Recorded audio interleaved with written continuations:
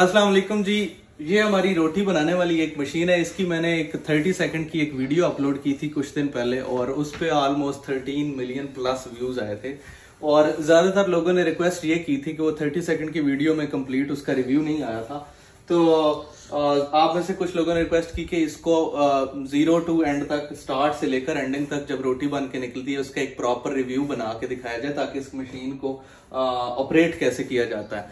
तो आज की इस वीडियो में मैं आपको इस मशीन का A to Z complete review बताऊँगा कि ये मशीन कैसे ऑपरेट होती है और इसमें क्या क्या फीचर्स आते हैं बिल्ट इन तो सबसे पहले आपको दिखाएँगे कि इसके ऊपर ये डेढ़ बाई डेढ़ की ऑलमोस्ट मशीन है, इसका इतना बड़ा साइज़ नहीं है। इसके ऊपर ये तीन पोर्शन आते हैं और इन पोर्शंस के साथ ही एक छोटी सी स्क्रीन आती है जिसमें इसका मेन्यू है मेनली और ये बिजली पे चलती है इलेक्ट्रिसिटी ये यहाँ पे इसका प्लग इन है।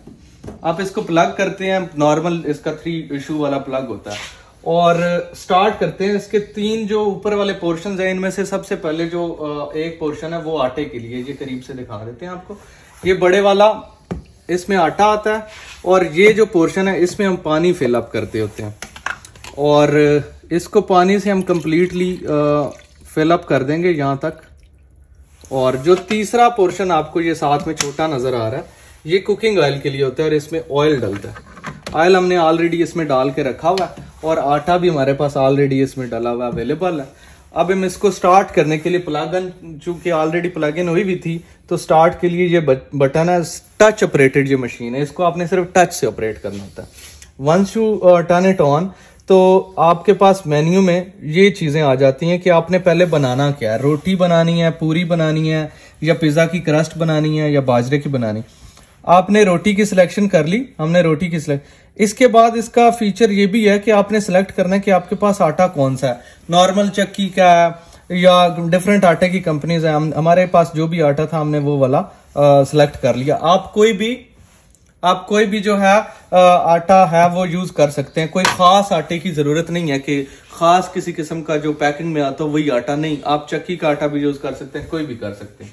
हमारे पास मेनली ये आटा हम लेके आते हैं, ये हमें यहाँ अमेरिका में यही अवेलेबल होता है रॉयल का तो वी यूज़ दिस टाइम अब आगे चलते हैं कि रोटी सिलेक्ट करने के बाद आपके पास ऑप्शन होता है कि आपने रोटी की थिकनेस कितनी रखनी है, कि मोटाई कितनी होनी चाहिए। मोटाई का लेवल आप यहाँ से, ये बार है हमने इसको थर्ड लेवल तक रोटी की थिकनेस जो है वो सिलेक्ट कर ली।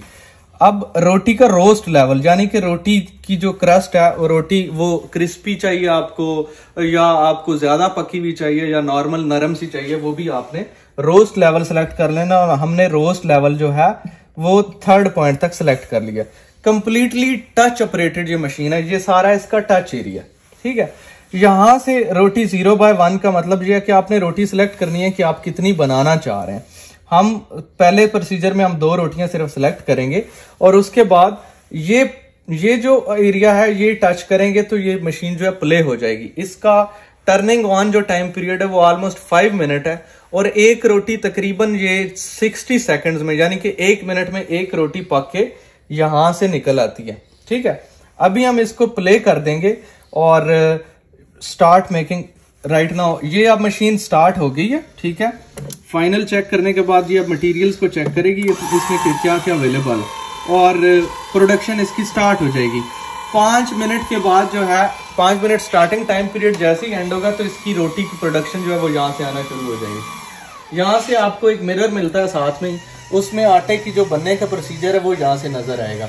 और यहाँ से फिर इसकी रोटी का प्रोसीजर अभी जब ये रोटी बनना शुरू हो जाएगी तो हम उसके बाद आपको दिखाएँगे कि रोटी कैसे निकल रही है बन के।